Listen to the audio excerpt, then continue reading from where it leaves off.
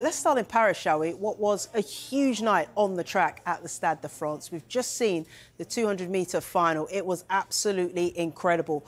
All the pre race talk was about this man, the 100 metre champion Noah Lyles. But look how far back he is from the man that stormed to victory.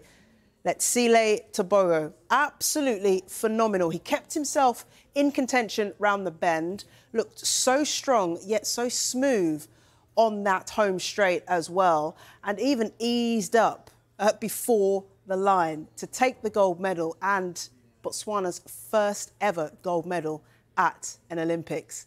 Let's get some reaction to this. Head over to Paris right now, where Miriam Walker Khan uh, is ready for us to speak to. Miriam, great to see you. What a race! How much of a surprise was that result?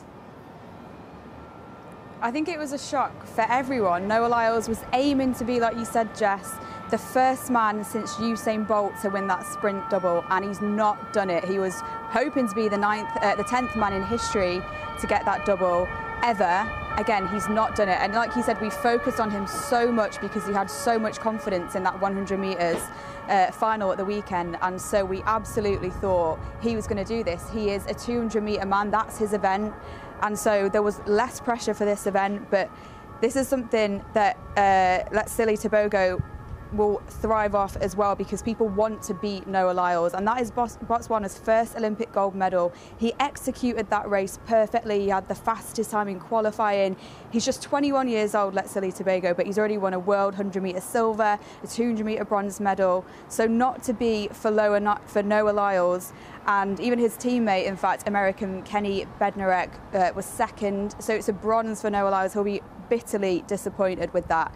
Uh, the last sprint double from the USA uh, was Carl Lewis. That's 40 years ago. And Noah Lyles talks a lot about wanting to emulate uh, Usain Bolt and be the best that there is. So he'll be massively disappointed with that because he, he talks the talk. He walked the walk in the 100 metres, or he walked it very fast. He didn't do that tonight. And like I said, he is a 200 metre man. That is his event. He's got three world titles from the, from the past three uh, world championships in the 200. And so that is his event. It's what he reigns supreme in. So this is a shock to everyone, but amazing for Botswana and their first ever Olympic gold medal in that event.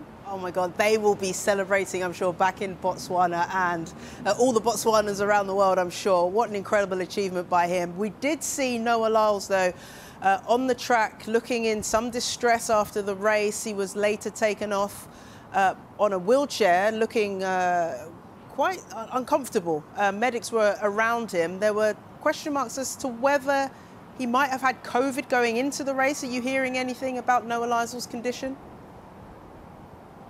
We've not heard anything about COVID, but we'll have to see what reports say. And of course, he was meant to be doing the 4x100 relay. He was also going to possibly do the 4x400 relay because if he won a gold in all those events, he would have been the first um, athlete since Carl Lewis. And uh, Jesse Owens is the only other athlete who's done that to get four golds on the track for USA. So we've not heard reports yet. We've not had that confirmed.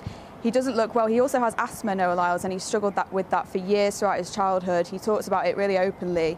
And uh, yeah, he doesn't look well there. He doesn't look his usual self. He, he came bounding onto the track when they uh, when they set the lineup, and he looked incredibly confident. Literally sprinted on.